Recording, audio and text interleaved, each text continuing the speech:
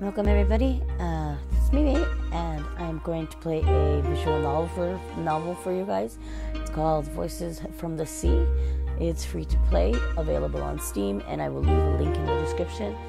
I do hope you enjoy it. Um, so let's get started. Noises.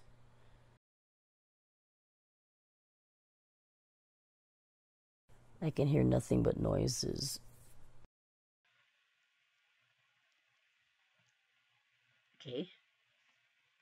Never ending buzzes. Oh. Down. Okay. Reading my mind.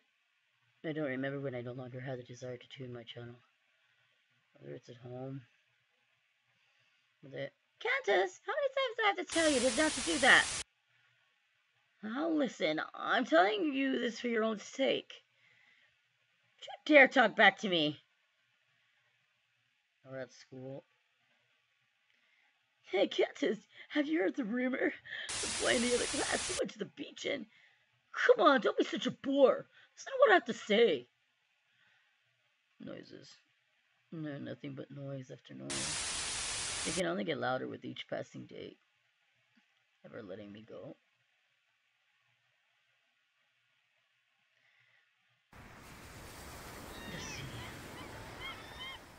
Blue as ever. Maybe I've been visiting this place more often than usual.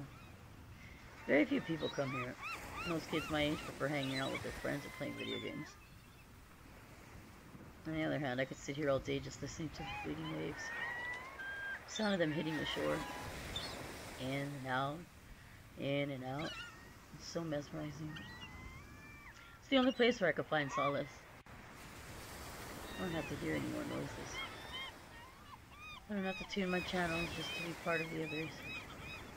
I'll just be myself.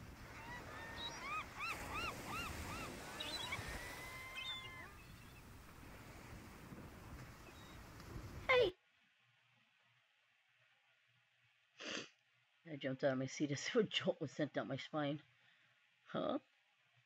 What did I just hear? The sound that broke the silence. Is it someone's voice?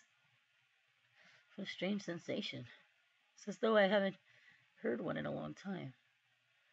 With all those noise around me lady, lately, it's no wonder I felt that way. Hey! Can you hear me?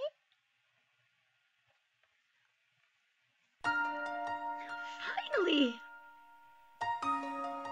Finally, I got your attention! And a familiar figure stands in front of me. A girl my age clear she's the source of that voice. The instant I saw her, I felt as though I just saw the blue sea. I'm not sure why. What's your name? Huh? Once again, she catches me off guard. It's a few seconds later before I could regain my composure. Candace. Candace? She repeated what I just said in her pair of curious eyes with a pair of curious eyes. What a beautiful name! Serious? It's out of reflex. What is this girl saying? Sure, why not? She answered nonchalantly. Candace, Candace. The more I say it, the more I like it. Don't you think so? I don't think so. I've never had anyone say. I know. Oh, sorry. I've never had anyone say that to me even my mom thinks that way. She probably came up with it when she was in the toilet. How aren't you the serious type? You'd be great if Candace could lighten up a bit. Right, aren't you the cheerful type? Too cheerful if I have to say. It'd be great if you could tone it down a bit. Upon hearing my answer, she freezes for a moment. A few seconds later, she bursts into laughter.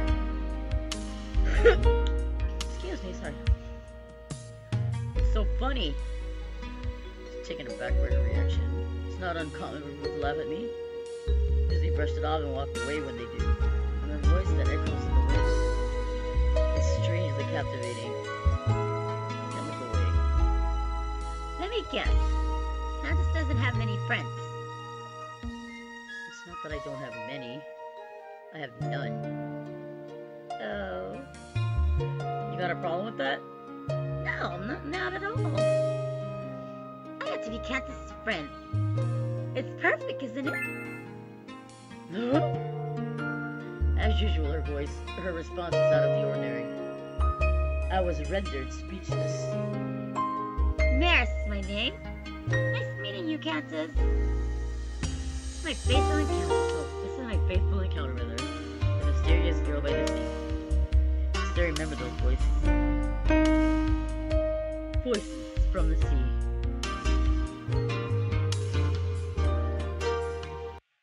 Boom! That was just the intro.